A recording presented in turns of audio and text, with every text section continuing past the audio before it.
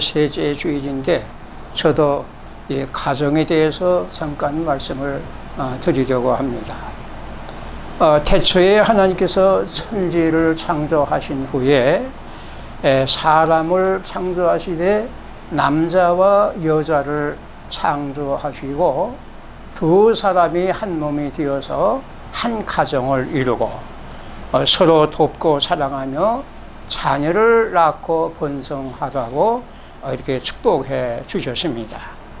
하나님께서는 교회나 국가를 세우기 전에 제일 먼저 가정을 먼저 세우시고 복된 가정이 되도록 축복을 해 주셨습니다.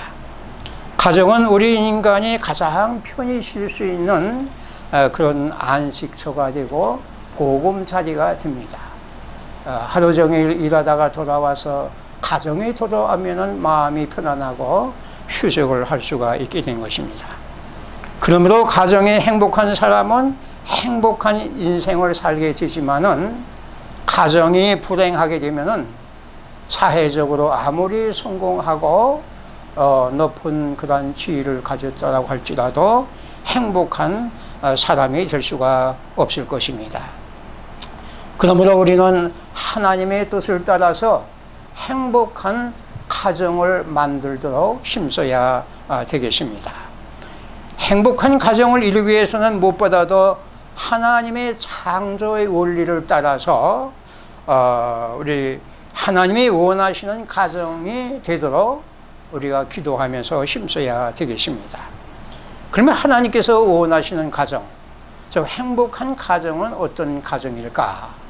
뭐 여러 가지 조건들이 많겠지만은 어, 오늘은 어, 제가 어, 이세 가지 가장 그 기본적인 행복의 조건에 대해서 말씀을 드리려고 합니다. 첫째로 행복한 가정은 믿음의 가정이 되어야 합니다. 온 가족들이 다 한마음만 뜻이 되어서 하나님을 믿고 하나님 중심으로 생활을 할 때에 그 가정이 행복할 수가 있는 것입니다. 하나님께서는 우리 인간을 하나님의 형상대로 창조하시고 인격적으로 하나님과 교제하면서 어, 살고 또 만물을 다스릴 수 있는 그런 높은 존재로 어, 창조를 하셨습니다. 그리고 에덴 동산을 창설하시고 그 동산을 경작하면서 살도록 하였습니다. 그 동산에는 각종 열매와 먹을 것이 풍족하였습니다. 아무도 아무것도 부족한 것이 없었습니다. 다만 하나님께서 한 가지 계명을 주셨는데 에, 그것은 동산에 있는 각종 열매는 마음대로 먹을 수 있지만은 이 선악을 알게 하는 나무의 열매는 먹지 말라. 내가 그것을 먹는 날에는 종년 죽으리라. 이 딱 한 계명을 주셨습니다. 사람들은 보통 왜 이 계명을 주셨을까 그렇게 궁금해하고 있습니다. 어, 제 생각으로는 이 계명을 주신 이유는 이유는 인간은 주인이 아니라는 것입니다. 어디까지나 하나님이 이 동산의 주인이고 인간은 관리인이고 또 인간은 피조물로서 하나님을 의지하고 하나님 앞에 순종하며 살아야 된 존재다. 그런 뜻으로 준 줄로 아는 것입니다. 그러면은 그 나머지 인간의 필요한 것들은 다 하나님께서 주인 되시는 하나님께서 다 공급해 주시겠다는 것입니다. 처음에 아담과 하와는 하나님을 의지하고 순종하면서 이 말씀대로 아주 행복하게 하나님과 또 좋은 관계를 가지고 그런 어, 그 생활을 하, 했습니다. 그런데 마귀가 와서 뱀을 통해서 마귀가 와서 하와를 먼저 유혹을 했습니다. 그 열매를 따먹어도 죽지 않을 것이다. 그 열매를 따먹으면은 내 눈이 밝아져서 하나님과 같이 되어서 선악을 알게 되므로 하나님이 금하신 것이라. 이렇게 속였습니다. 하와는 마귀의 유혹에 넘어가서 그 열매를 따먹고 자기 남편에게도 주어서 그 열매를 먹게 하였습니다. 하나님의 명령을 거역하고 마귀에게 순종하였던 것입니다. 이때부터 인간의 모든 불행이 오게 되었던 것입니다. 하나님의 말씀대로 죽음이 오게 되었고 죽음에 따르는 여러 가지 질병과 고통이 따라오게 되었던 것입니다. 여자에게는 해산과 고통의 수고를 겪게 했고 사람은 땀을 흘리면서 애써야만 먹을 수 있게 되었습니다. 결국 인간의 모든 고통과 불행이라고 하는 것은 하나님의 말씀을 거역하고 어, 죄를 범함으로 오게 된 것입니다. 그리고 마지막에는 지옥의 무서운 그런 영원한 형벌을 받는다고 성경은 가르치고 있는 것입니다. 그러므로 우리 인간이 행복하려면은 제일 먼저 예수를 믿고 하나님이 구원자로 보내주신 예수 그리스도를 믿고 죄 사함을 받고 그 모든 죄의 형벌로부터 우리가 해방되어야 됩니다. 그래야 참된 그런 행복을 얻을 수 있고 마지막에는 지옥이 아니라 영원한 천국에서 영생의 축복을 누릴 수가 있는 것입니다. 성경에 보면은 여호와 하나님은 만복의 근원이시다 이렇게 말씀하고 있습니다. 시편 127편 1절에 보면은 여호와께서 집을 세우지 아니하시면 세우는 자의 수고가 헛되며 여호와께서 성을 지키지 아니하시면 파수꾼의 깨어 있음이 헛되도다. 이 무슨 말씀입니까? 하나님께서 가정과 나라를 지켜 주셔야만 우리가 행복하게 살 수 있지. 하나님이 지켜주지 아니하면은 인간이 아무리 수고를 해도 다 헛된 수고가 되고 만다는 것입니다. 사무엘상 2장 8절 이하에 보면은 한나의 유명한 기도가 기도가 기도, 기도가 기록되어 있습니다. 여호와는 죽이기도 하시고 살리기도 하시며 수월에 내리기도 하시고 거기서 올리기도 하시는도다. 여호와는 가난하게도 하시고 부하게도 하시며 낮추기도 하시고 높이기도 하시는도다. 가난한 자를 진토에서 일으키시며 빈궁한 자를 구름더미에서 올리사 귀족들과 함께 앉게 하시며 영광의 자리에 자리, 자리를 차지하게 하시는도다. 다시 말씀드리면 인간의 모든 생사화복 이것이 하나님의 손에 있다는 말씀인 것입니다. 그러므로 우리가 행복한 가정이 되려면 첫째로 하나님을 믿고 하나님을 잘 섬기는 믿음의 가정이 되어야 됩니다. 그래야 그 가정의 축복을 받을 수가 있게 된 것입니다. 두 번째로는 성경의 성결의 가정의 행복한 가정입니다. 부부가 서로 성결을 지키고 자녀들이 하나님의 말씀대로 바르게 살 때에 행복한 가정이 될 수가 있습니다. 오늘 본문 말씀에 보면 하나님께서는 한 남자와 한 여자를 창조하시고 가정을 이루게 하시고 말씀하시기를 그러므로 남자가 부모를 떠나 그의 아내와 합하여 둘이 한 몸을 이룰지로다 이렇게 말씀을 하셨습니다. 여기 한 남자와 한 여자 그러니까 둘이 합하여 한 몸을 이루어서 행복한 가정이 되라고 축복을 해 주셨습니다. 그러므로 결혼은 한 남자와 한 여자가 하는 것이 창조의 원리인 것입니다. 만일 한 남자가 두 여자, 세 여자 결혼해서 이렇게 되면 그 가정은 행복할 수가 없습니다. 예를 들면 아브라함이 자기 아내 사라의 하갈이라고 하는 첩을 취함으로 말미암아 가정에 큰 분란이 일어났고 지금까지 그 후손들이 싸우고 있습니다. 한 번의 실수가 이렇게 큰 것입니다. 이스라엘 그 하갈과 그 이스마엘 그 후손과 이스라엘의 그 어, 후손들이 지금도 싸우고 있는 것을 우리가 알고 있습니다. 성경에 보면은 가정의 순결을 굉장히 많이 강조하고 있습니다. 하나님께서는 가정을 지키도록 하기 위해서 10기명 중에 제7미, 7계명 간음하지 말지니라. 이런 계명을 주셨습니다.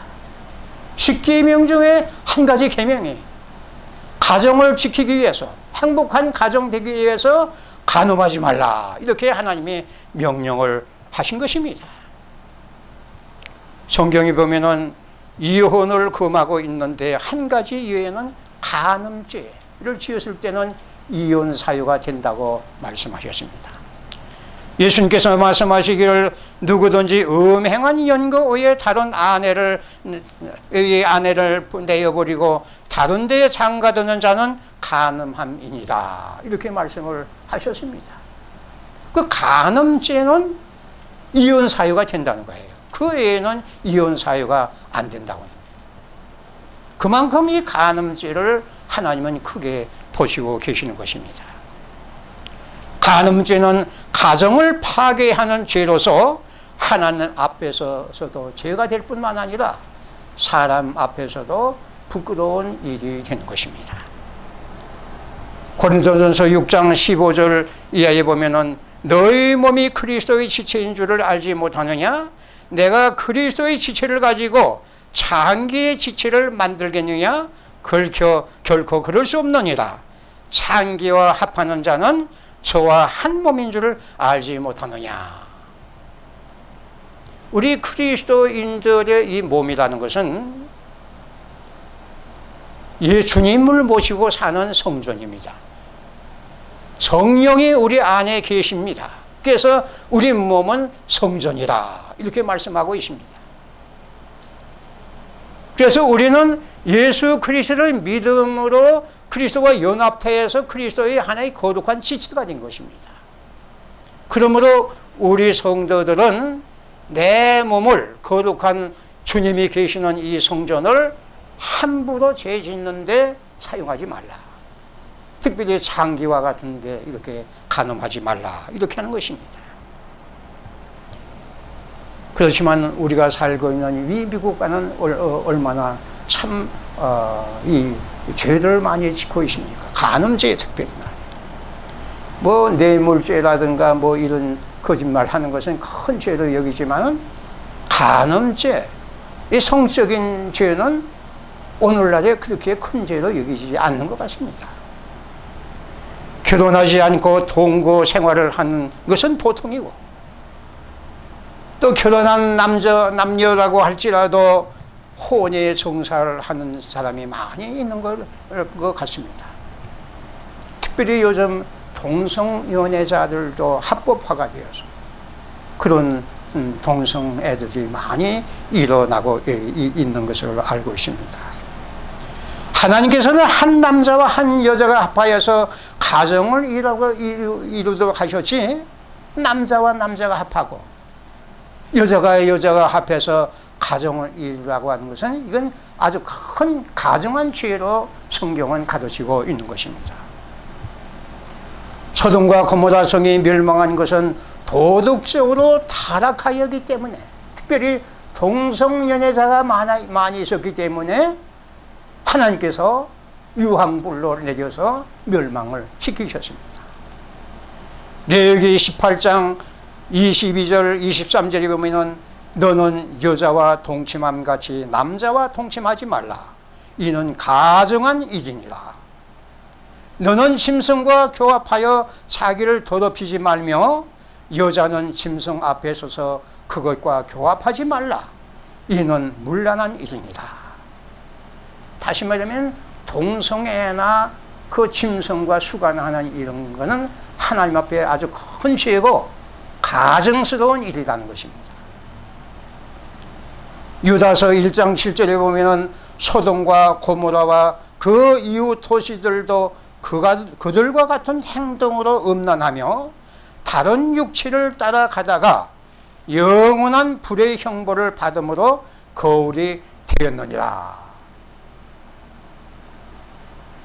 소돔성과 고모라 성이 불의 형벌을 이렇게 엄난죄를 짓고 이 동성연애를 함으로 멸망하는 것 같이 어느 때든지 그런 죄를 범하면은 하나님이 형벌을 받는다는 것입니다.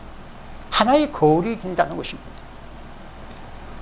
요한계시록 21장 8절에 보면은 두려워하는 자들과 믿지 아니하는 자들과 흉악한 자들과 살인자들과 음행자들과 술객들과 우상숭배자들과 모든 거짓말하는 자들은 불과 유홍으로 타는 못에 참여하리니 이것이 둘째 사망이다. 지옥에 떨어지는 한 가지 그 죄 중에 하나가 음란, 음행죄를 구한 사람도 지옥에 들어간다. 이렇게 요한계시록 마지막에 기록하고 있습니다. 오늘날 우리는 소돔 성과 같은 그런 사악한 그런 시대에 살고 있습니다. 서울에서도 동성애자들이 해마다 모여서 광화문 광장에서 퀴어 축제를 하면서 아주 어, 음란한 행위를 그런 그 좋지 않은 어, 축제를 벌이고 있는 것을 우리는 알고 있습니다. 이런 시대에 우리는 우리 자신의 가정을 성결하도록 지키도록 하고 우리 자녀 손들을 위해서 기도를 해야 되겠습니다. 이런 세속에 물들지 아니하고 성결한 생활을 하고 성결한 가정을 이루도록 우리가 자녀 손들을 위해서 기도하고 이것을 또한 가르쳐야 될 것입니다. 성결한 가정이라만 하나님의 축복을 받을 수가 있는 것입니다. 마지막으로 한 가지는 사랑의 가정을 이루어야 합니다. 가정은 사랑의 보금자리가 되어야 합니다. 오늘 말씀을 보면 하나님께서 남자의 갈비뼈로 여자를 만드셨다고 했습니다. 이 갈비뼈라고 하는 것은 그 심장에서 가장 가까운 뼈입니다. 그래서 아담은 그 하와를 보고 이는데 뼈 중에 뼈요 살 중에 살이라 이렇게 했습니다. 부부는 가장 가까운 사이이며 또 사랑을 또 수고받으면서 이렇게 살아야 할 존재인 것입니다. 우리 특별히 기독교 신자들은 어, 가정을 하나님의 사랑을 실천하는 하나의 첫 번째 장소로 삼고 가정에서부터 사랑을 실천하도록 심어야 하겠습니다. 주님께서는 우리를 사랑을 사랑해서 구원해 주셨는데 우리는 가장 가까운 가정에서부터 사랑을 실천함으로 어, 사랑을 또 이게 생활을 해야 되겠습니다. 부부 갈등이나 또 뭐 부모 부모 자녀 간의 갈등이나 여러 가지 그 친척과의 관계가 사랑이 부족해서 생기는 경우가 대부분인 줄로 압니다. 아, 또한 사랑이 풍성한 곳에서 잘 자란 자녀들은 탈선하지 아니하고 또 바른 길로 가고 어, 좋은 믿음의 가정을 이룰 수가 또 있을 줄로 압니다. 우리가 잘 아는 고린도전서 13장 그 사랑장에 보면 사랑은 오래 참는다고 하였습니다. 우리가 상대방이 좀 잘못해도 또 부족한 점이 있더라도 부부간에 어떻게 다 완전하겠습니까? 사랑으로 다 참고 덮어주고 용서하고 그런 것이 이렇게 해야 되겠습니다. 또 사랑은 온유하다고 했습니다. 부드럽고 친절한 것입니다.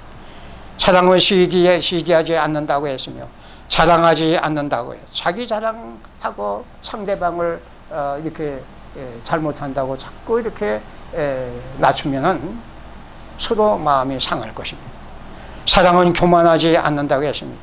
자기를 낮추고 상대방을 높이는 일에 우리가 힘써야 되겠습니다. 사랑은 무례해야지 무례에 행치 않는다고 했습니다. 부부간에 허물이 없다고 해서 무례한 행동을 하지 말라고 하는 것입니다. 또 사랑은 자기의 유익을 걷지 않는다. 우리 모든 사람들의 부하가 그 불화가 대부분 자기 유익을 구하기 때문에 자기가 좋은 것 가지고 더 많이 가지려고 하기 때문에 인간 사회가 이렇게 불화가 많은 것입니다. 그러므로 우리는 자기의 유익보다도 어, 상대방의 다른 사람의 유익을 구하면서 사는 우리 사랑의 사람들이 되어야 되겠습니다.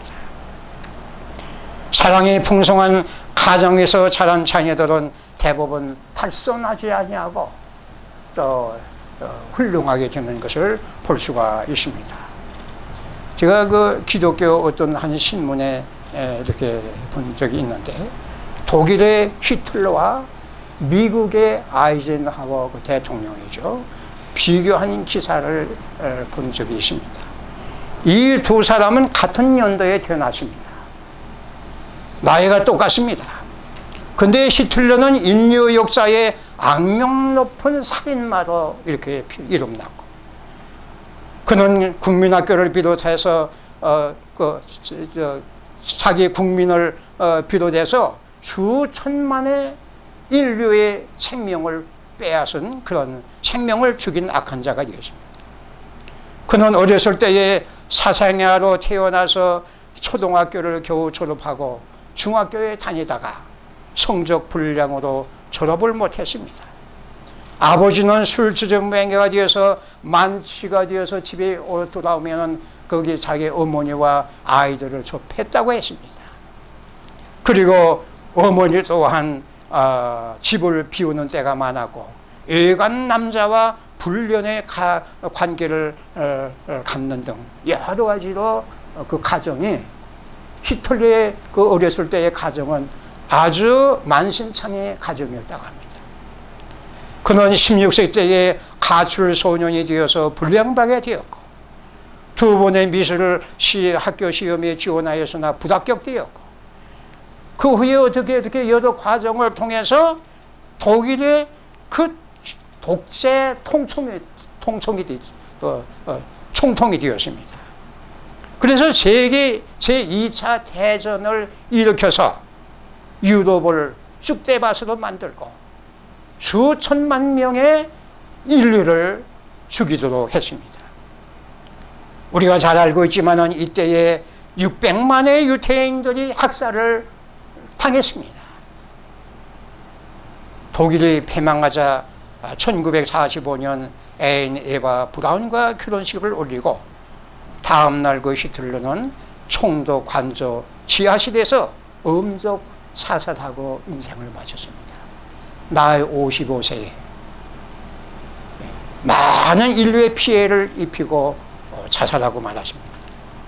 한편 아이젠하워는 그는 선조 때부터 기독교 가정의 신앙에서 어, 자랐는데 7형제 중 셋째 아들로 태어나서 자랐습니다. 집안이 가난하여 고등학교만 나오고 형의 학비를 돕기 위해서 1년간 일하다가서 1900 9년에 미국 육군사관학교에 입학하여 졸업을 하고 소위로 임관되었다고 합니다. 그는 그 후에 갑부의 딸과 결혼하여 두 아들을 낳았고 그리고 히틀리가, 히틀러가 일으킨 2차 대전에 참여해서 승리하여서 오성 장군이 되었다가 나중에 미국 34대 대통령이 되었습니다. 그 후에 그는 80세까지 장수하며 행복을 누렸다고 합니다. 같은 해에 태어난 히틀러와 아이젠하워가 왜 이렇게 큰 차이가 있습니까?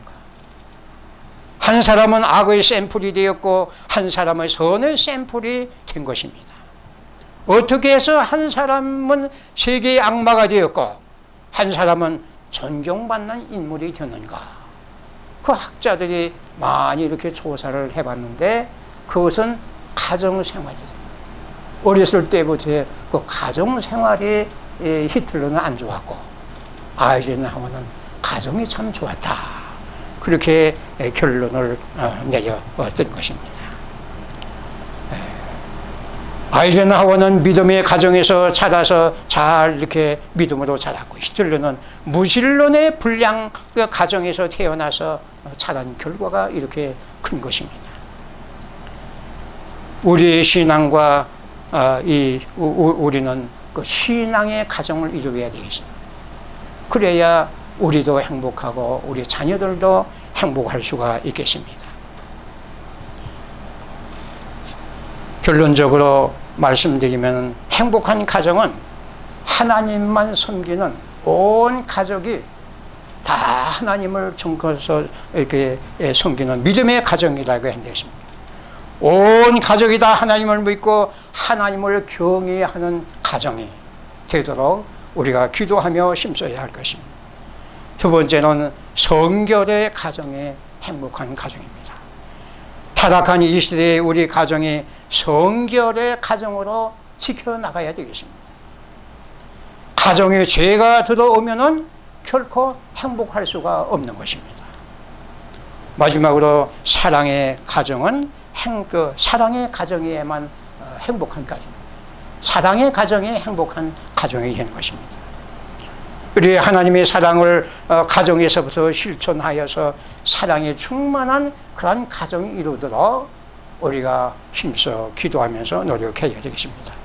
이런 아름다운 가정이 될 때에 우리 자신이 행복하고 우리 자녀들도 행복하고 우리 교회와 사회가 든든하게 세워질 것입니다. 기도하겠습니다. 아버지의 하나님, 가정의 달 5월달을 맞이하여서 이 시간에 이 부족한 종이 행복한 가정의 조건에 대해서 또 말씀을 전했습니다.